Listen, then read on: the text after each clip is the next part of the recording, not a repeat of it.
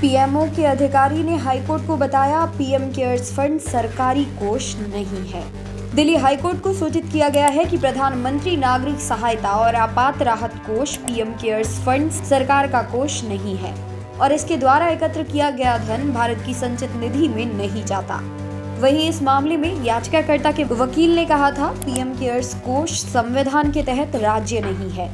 तो डोमेन नाम जीओवी का उपयोग प्रधानमंत्री की तस्वीर राज्य का प्रतीक आदि को रोकना होगा।